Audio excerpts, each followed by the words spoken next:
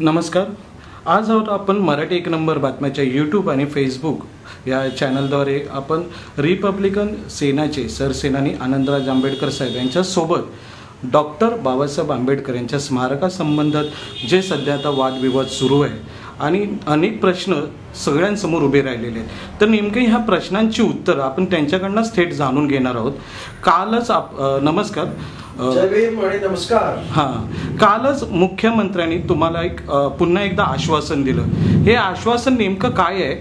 आणि बाबासाहेबांच्या स्मारकासंदर्भात एवढा वादविवाद आणि प्रश्न का उभे राहत आहेत? तर म्हणजे काल मी मुख्यमंत्र्यांना जे इंदुमिलचं एकंदर स्मारक होतं त्या संदर्भात भेटायला गेलो होतो. आपल्या सर्वांना माहीत असेल की आता इंदुमिलचा पुतळा अडीचशे फुटाचा आणि ते पेडिस्टल आहे ते शंभर फुटाचं असं करण्यात आलेलं आहे. आणि आम्हाला कमीत कमी पुतळा साडेतीनशे फुटाचा हवा आहे. वाढला तर तो तीनशे पंच्याण्णव फुटाचा व्हावा कारण आपल्या राज्याकडे तीनशे पंच्याण्णव कलम आहेत अशी आमची मागणी आहे. परंतु ते त्यावेळेस शशी प्रभू म्हणाले एवढा होऊ शकत नाही. तर म्हटलं साडेतीनशे तरी व्हायलाच पाहिजे अशी आमची मागणी होती आणि त्यासाठी आता जी काही कमी केलेली उंची आहे त्यासाठी आम्ही भेटायला गेलो. आमचं असं म्हणणं होतं की जर सरदार वल्लभभाई पटेलांचा सहाशे फुटाचा पुतळा होऊ शकतो तर बाबासाहेबांचा हा साडेतीनशे फुटाचा का होऊ नये? कारण आता म्हणजे टेक्नॉलॉजी नाही किंवा इतर पुतळा एवढा मोठा बनवू शकत नाही असं काही राहिलं नाही. कारण इथे ज्या पद्धतीने वल्लभभाई पटेलांचा पुतळा होऊ शकतो म्हणजे त्या पद्धतीने देशात किंवा देशाबाहेर एवढ्या मोठ्या पुतळ्यांची टेक्नॉलॉजी आहे आणि त्यामुळं तसे पुतळे बनू शकतात याबद्दल आता कुठची शंका राहिली नाही. पण दुर्दैवाने जेव्हा आम्ही अ, मुख्यमंत्र्यांना भेटलो तेव्हा त्याने मला असं सांगितलं की आनंदरावजी पुतळ्याची उंची उंची ही चबुतऱ्यापासून मोजली जाते. खरं म्हणजे मला मुख्यमंत्र्यांच्या ह्या विधानावरती काय बोलावं आणि काय बोलू नये मुख्यमंत्री असताना असं हास्यास्पद त्यांनी विधान केलं. कारण मी अनेक पुतळे आता बाबासाहेबांचे तर प्रत्येक जवळजवळ गावागावामध्ये पुतळे आहेत. काही पुतळे अर्ध अर्ध याचे असतात. आणि ते दोन अडीच फुटाचे असतात आणि त्याचं पेडिस्टल सहा साडेसहा फुटाचं असतं. आणि आम्ही त्या पुतळ्यांना वरती शिडीवरती चढून हार घालतो.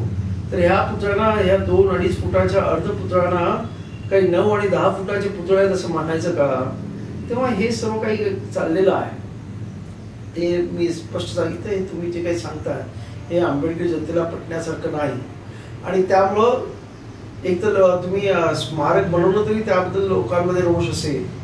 आणि बाबासाहेब आंबेडकरांच्या जनतेने रस्त्यावरची लढाई लढून ही जागा मिळवलेली आहे. आणि त्यामुळे त्यांची जी इच्छा आकांक्षा आहे की बाबासाहेबचं व्यक्तिमत्व त्या एकंदरीत बाबासाहेबांच्या त्या स्मारकामधून प्रतीत व्हावं. आणि बाबासाहेब आंबेडकरांचा हा सर्वात मोठा जगातला पुतळा असणार आहे त्याला स्टॅच्यू ऑफ इक्वालिटी नावाने प्रसिद्धी द्यावी. तर त्यासाठी आपण जर तसं करणार नसाल तर त्या संपूर्ण हा आपण करत असलेला सरकारचा खर्च आज साडेसातशे कोटीचा आपण म्हणताय. कारण म्हणजे पूर्वीच्या काळामध्ये जेव्हा हे जागा मिळाली आणि बाबासाहेब आंबेडकरांचं स्मारक करायचं झालं तेव्हा तो चारशे कोटीचा खर्च होता. तो अचानक साडेतीनशे कोटीने आज आज वाढवला आहे. आणि पुतळ्याची उंची कमी केली हे कुठेतरी आंबेडकर जनतेला मान्य होणार नाही असं मी स्पष्ट सांगितलं. त्याच्यावरती मुख्यमंत्र्याने की निविदा वगैरे काढलेल्या आहेत त्या वेळ फुकट जाईल. मी म्हटलं त्याच्या वेळ फुकट अजून कुठलंही म्हणजे पुतळ्याची ऑर्डर दिली नाही माझ्या माहितीप्रमाणे अजूनही कामकाज फक्त शोर पायरी म्हणजे कंपाऊंड वॉलचं पायरी चालू आहे. त्यामुळे अजूनही पुतळ्याच्या ज्या मेन काम आहे त्या बाबतीत अजून कसलंही काम चालू झालं नाही. त्यामुळं आता अजूनही करण्यासारखं आहे. मग शेवटी मुख्यमंत्री असं म्हणाले की तुम्ही M M R D J हे प्रोजेक्ट हे मॅनेजर्स सारखी एजन्सी आहे जिच्या मार्फत हा पूर्ण प्रोजेक्ट केला जातोय त्यांच्याशी आपण बोलून घ्या. याच्यातून आपण नक्की काहीतरी मार्ग काढू असं त्यांनी मला आश्वासन दिलेलं आहे. आणि म्हणून आता काही दिवसामध्ये मी एम एम आर डीच्या सर्व अधिकाऱ्यांशी आणि जी एक कमी सदस्यीय कमिटी आहे ब बडवली त्यांना सुद्धा तिथे बोलून सर्व लोकांशी एकत्र बोलणी करण्याची माझी इच्छा आहे. आणि बघू पुढच्या आठवड्यामध्ये तसा तशी मिटिंग होण्याची अपेक्षा आहे. आणि त्याच्यामधून काय निघतं ते बघू. आणि जर काही निघालं नाही तर आपण सर्वांनी मला बाबासाहेबांच्या स्मारकासाठी ज्या पद्धतीनं साथ दिलेली आहे आणि ती जागा आपण मिळवलेली आहे तशाच पद्धती द्या. आपण आपल्याला नको असलेलं आपल्या बाबासाहेब म्हणजे, म्हणजे ज्या पद्धतीने आपल्याला हवं असलेलं पण तो हे म्हणजे अत्यंत म्हणजे एवढे सर्व जागा असून सुद्धा ते योग्य पद्धतीने न बनवणारं असं स्मारक आहे. ते स्मारक स्मारकाचं कामकाज आपण बंद करू आणि आपल्या आंबेडकर जनतेच्या इच्छा आकांक्षाचं प्रतिरूप असेल अशा पद्धती स्मारक तिथे सरकारला बांधण्यास बाध्य करू अशा पद्धतीची माझी भूमिका आहे. आणि त्याला समस्त आंबेडकर जनतेने प्रचंड पाठिंबा द्यावा. आणि परत एकदा आंबेडकर जनता रस्त्यावर आल्यावर काय होतं हे या सरकारला दाखवून द्यावं अशी माझी या संपूर्ण जनतेकडून अपेक्षा आहे. सगळ्यात एक महत्त्वाचा प्रश्न होता की कुठेतरी असं वाटतंय का बाबासाहेबांच्या पुतळ्याचं उंचीवरून कुठेतरी वादविवाद करायचा प्रश्न उपस्थित करायचे आणि मुख्यतः स्मारकाचं काम कुठेतरी थांबून ठेवायचं. असा सगळा गोंधळ दिसतोय का? कारण की मध्यंतरी तुम्ही एक आव्हान पण केलेलं होतं आंबेडकरी जनतेला. जर सरकार काही करत नसेल तर आम्ही स्वतःच्या पैशाने हे उभारू आणि तेवढी तयारी पण तुम्ही दाखवलेली. तर हे नेमके नेमकं काय घडतंय या सगळं? सरकार या संपूर्ण स्मारकाचं श्रेय घेऊ पाहत परंतु बाबासाहेबांच्या जे व्यक्तिमत्व आहे बाबासाहेबांची विद्वत्ता आहे बाबासाहेब केले कार्य आहे त्या विद्वत्तेला त्या कार्याला खऱ्या अर्थानं मान देण्याचा त्यांचा गौरव करण्याचा जे काही अपेक्षा आहे त्या स्मारकातून ते होत नाही असं मला दिसतं. आणि त्यामुळे मी मध्ये- मध्यंतरी आव्हान सुद्धा केलं होतं. सरकारकडे पैसे नसतील तर सरकारने ती जागा आंबेडकर जनतेच्या हवाली करावी. आंबेडकर जनता पै पैसा जमवून त्यांना अभिप्रेत असलेलं स्मारक तिथे बनवून आणेल. परंतु सरकार तसंही करू देत नाही आणि सरकार आंबेडकर जनतेच्या इच्छा आकांक्षा असलेलं स्मारक सुद्धा घडून देत नाही. त्यामुळंच रस्त्यावरच्या लढाईसाठी आपल्याला आता तयारी करावी लागेल असं मला वाटतंय.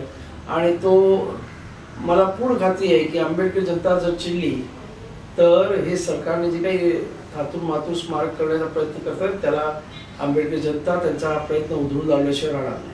म्हणजे आता शेवटचा इशारा हाच आहे की आंबेडकरी जनता आता रस्त्यावर उतरेल आणि स्वतः स्मारकाचं काम जे आहे ते स्वतः करू शकते निर्बंधने. हो त्याबद्दल तर प्रश्न नाही पण तो आंबेडकरी जनता जर सरकारने ऐकलं नाही आता आम्ही कसं आहे याच्यातून मध्यम मार्ग काढण्याचा प्रयत्न करतो. आता शेवटची एक meeting M M R D बरोबर आणि त्याच्या समिती जे एक सदस्य समितीचे बनवले आहेत त्यांच्याबरोबर घेण्याचा माझा प्रयत्न असेल आणि त्याच्यातून जर मार्ग निघाला नाही तर मग आमचं रस्त्यावरचं आंदोलन ठरलेलं आहे. त्याच्यामध्ये बाबासाहेबांच्या स्मारकासाठी जे काही करता येईल आणि ज्या पद्धतीने करता येईल त्या पद्धतीने करण्याची आमची तयारी म्हणजे आता टोकाची लढाई असेल. नाही टोकाची लढाई म्हणजे काय? सरकारला जर बाबासाहेब आंबेडकरांच्या स्मारकाबद्दल आस्था नसेल आणि त्यांना जर इच्छा नसेल आणि बाबासाहेब आंबेडकर स्मारक जर बाबासाहेबांच्या जनतेच्या इच्छा आकांक्षेचं प्रतीक होत नसेल आणि बाबासाहेबांच्या व्यक्तिमत्वाला जर ते योग्य पद्धतीने सन्मान देत नसेल तर त्याबद्दल आंबेडकर जनता कधी बाबासाहेबांच्या सन्मानासाठी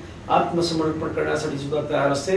हे आपण अनेक वेळा बाबासाहेबांच्या पुतळ्याच्या वेळेला आपण रबाबाईला पाहिलं की अकरा जण शहीद झाले पुतळ्याचा अपमान झाला तर त्यामुळे हे काही आंबेडकर जनतेला नवीन नाही.